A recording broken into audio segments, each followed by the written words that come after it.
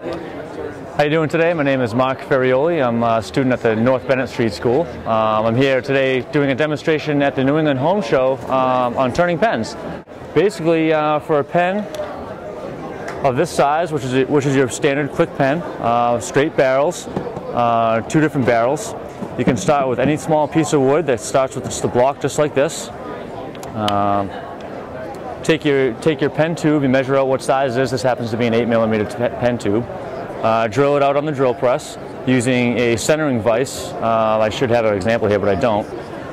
Uh, basically has two, two V-cuts down the centering vise. You place your corners in there and that holds it vertical to the drill press. So you ensure that you have a hole that goes straight through both sides and that way it's not going through at any certain angle. Uh, basically once you get your hole drilled, as through here, you have your pen tube which now needs to be glued inside of here. The next step is to take a piece of sandpaper roll it around the tube a little bit, and just rough it up. Uh, as you can see, the brass is pretty shiny. Now that doesn't make for a great glue surface, but after you rough it up, you can see the scratch marks. Now the glue is going to adhere not only to your pen tube, but now to the wood, ensuring that it stays nice and glued in uh, when you have it mounted on the lathe.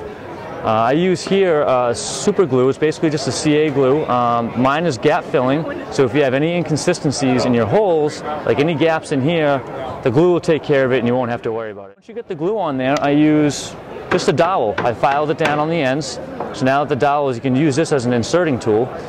You spread some glue on there. I usually like to go in about three quarters of the way, move it around.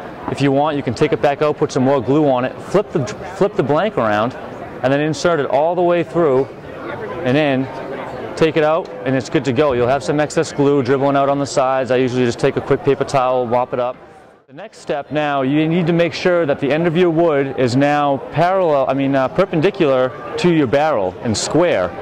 Uh, this is going to ensure good good joint surface between your pen mechanism and your wood. You don't want any gaps in there because then it just doesn't look like a good pen uh, so the tool we use for this is the barrel trimmer. The barrel trimmer is the right size for the brass tube. This is going to clean out any glue that might get stuck on the inside of your tube. So insert it back into your, uh, your pen vise, which has the vertical V cuts. Put this on your drill press. Make sure it's all lined up. And you just kind of kind of go in slowly, just going down. You don't need too much pressure until you start to see little curls of, uh, of, of, the brass tube and you'll tell because it's shiny on the end. And you don't want to take off too much because this, this length is going to ensure, you know, it's going to go along. Size for the pen. Good size for the pen. You know? Um, so this is what it looks like when it's not trimmed and this is what it looks like when it's trimmed. And you can see both ends trimmed. You're now ready to mount it on the lathe. So I've already mounted one over here and I've been turning it for a little while now. I can take it off real quick just to show you. So this is a pen mandrel. It goes right into your Morse taper number two. You just kind of slide it right in. You don't need a headstock or anything. You do need a live center. Um,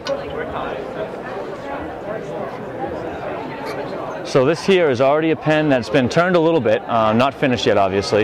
You can see that it's trimmed off, so now it's going to make a nice flush joint with the pen mechanism. Uh, you have your pen bushings. Your pen bushing is now is the same size as your pen mechanism. So this is what you turn your pen down to.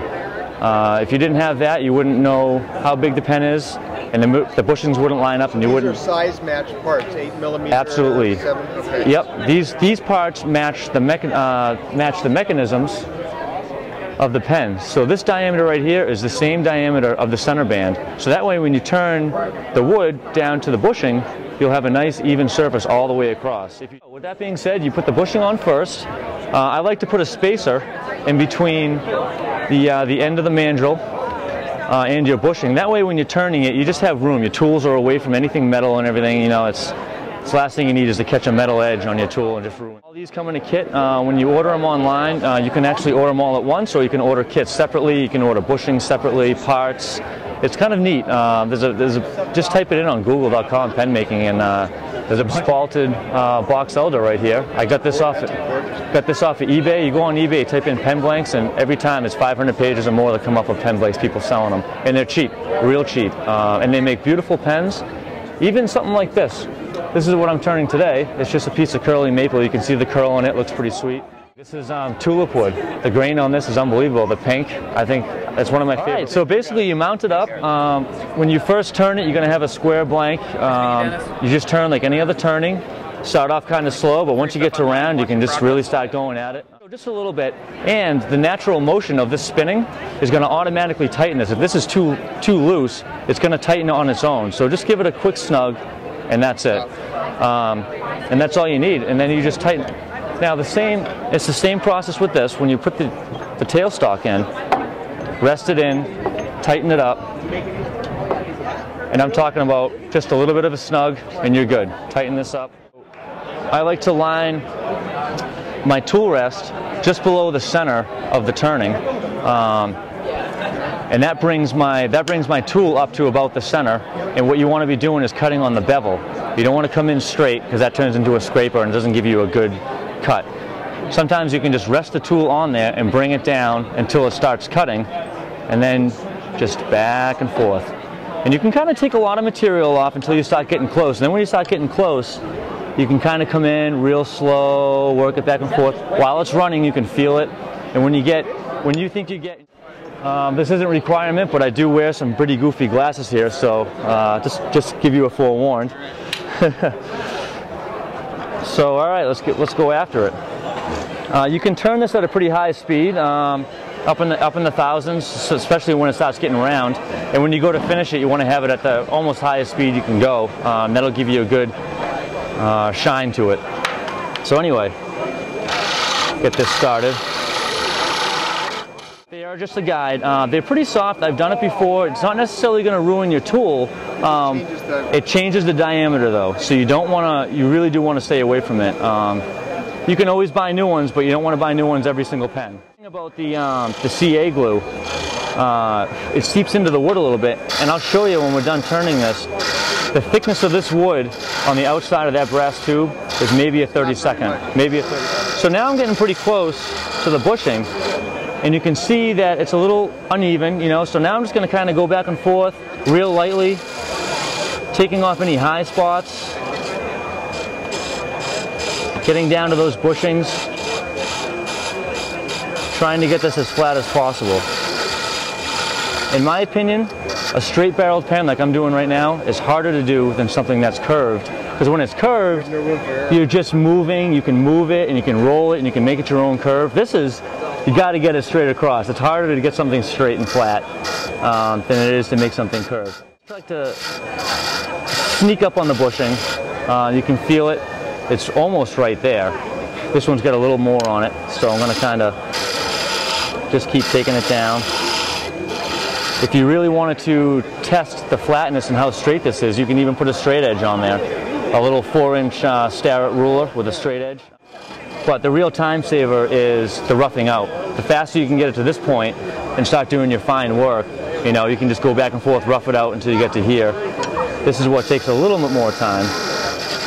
Because you want about, about screwing up uh, the pen process. Um, one thing I forgot to mention is when gluing the brass tube in, super glue, even without an accelerator, dries pretty quickly. When you're putting this in, you don't, I mean, you have a little bit of time, but you don't want to dilly-dally with this because I've had a lot of them just go, they get stuck. So here's the easy part and almost the fun part of turning. It's low risk. Uh, you still can go further than the bushing, which you don't want to do with sandpaper, but it takes a lot off, it takes not as much off as a turning tool would. Um, you can see some of the dust coming off on this. Uh, that one, I would probably start with a 180, uh, and then work your way up to sanding pads, micro mesh pads that go Would, yeah. that go up into the thousands. Yeah. Uh, my last one will probably be around like a 12,000 to 2,000 grit, um, and that's what you need to give your pen a polish. It actually almost polishes uh, its own without any finish. When you have a pen, but um, once, once you're done with 220, that's good enough with sandpaper. Then you can jump to your pads, and uh, I believe these are about, these start at like 600 and they go all the way up to 12,000 grit.